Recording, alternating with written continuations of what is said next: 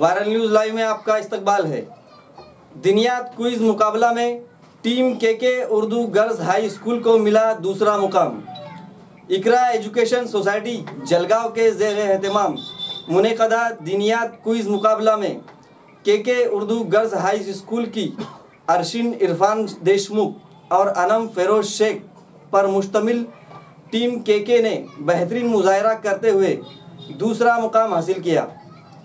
इस बेहतरीन कामयाबी पर अंजुमन खिदमत खल्क के सदर doctor Amanullah Shah, general secretary Sheikh Hasan, doctor Mohammad Tahir Sheikh के साथ साथ जिमला अरकान खिदमत खल्क ने सदर मल्लमा तदरीसी वगैरह, तदरीसी इमला टीम ने के के व शोभा दिनियात की निगरा तनवीर जहाँ, जमीला शेख व ताउन करने वाली उस्तानिया शेख नाजिया शेख शकीला, शेख समीना, शेख आसमा, शेख तहमीन को मुबारकबाद देते हुए मुस्तबिल में भी इसी तरह की नुमाया कामयाबी की तवक्का का इजहार किया।